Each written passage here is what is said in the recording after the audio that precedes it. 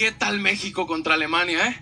No, hombre, jugaron un partido perfecto, ¿eh? Las dos, los dos tiempos dominaron y sorprendieron a una, una potencia, porque Alemania es una potencia, nosotros no. Correcto, pero ahí va México. ¿Cómo vio el nieto?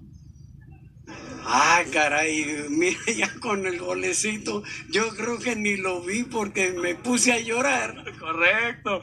¿Cómo ves, Mario, a don Tomás y a Javier Hernández? No, sensacional. Les comentaba que en el West Ham el sistema no le ha venido bien al Chicharo, No. lo sabemos. Él necesita más balones, él es más No, rematador. fíjate que yo lo veo ahí que está medio aisladón. por supuesto, por supuesto. Es otro tipo de sistema. Sí, es otro sistema. Juegan al contragolpe, él tiene que picar a los espacios, él es un jugador Sí, de área. ese tiene que hacer dos, dos tareas. Dominar la pelota, pasarla y todavía ir al frente a ver si se la pasan para hacer lo que él sabe hacer. Y todavía, goles. y todavía en esta temporada hizo uno de los goles más extraordinarios que le haya visto. Sí. Recibió de espaldas, gambeteó a tres jugadores que no es el estilo de él. No es el Y todavía la metió. Exactamente. Ha evolucionado, ha evolucionado mucho. Ha aprendido, partido- ¿eh? Ha Sí, señor. aprendido. Y no, no ha aprendido de nosotros, ha aprendido de todos ustedes. No, por favor, ya el ADN se trae. Correcto, Se trae, correcto. por supuesto. Eh, ¿Cómo viste, Javier, a la selección mexicana?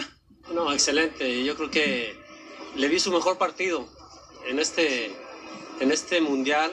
Creo que estoy sorprendido. Bueno, no sorprendido, sino que no es lo mismo jugar partidos amistosos previos a un mundial, y sobre todo previos a un mundial. Que no es la, mi- la misma exigencia, no se tiene la misma responsabilidad. Y, y creo que este partido que jugaron, sobre todo el primer tiempo, lo jugaron de 10. Sí. ¿Cómo vio a Javier ayer en la comida? ¿Cómo anda? Anda muy bien, muy contento, muy feliz, cansado, lógico, por el esfuerzo que hizo. Y, y la verdad, el grupo se ve muy unido. Es un grupo que todos son, se sienten como debe ser, con su responsabilidad dentro del equipo, dentro del plantel, y, y eso, eso da confianza. Sí, sí, ya lo veníamos platicando, don Tomás, pero ya se vio, ¿no? Ya se notó que hay buen equipo, ¿no? Buen grupo. Claro, hay un grupo muy unido, todos ellos, todos ellos están comprometidos con ellos mismos.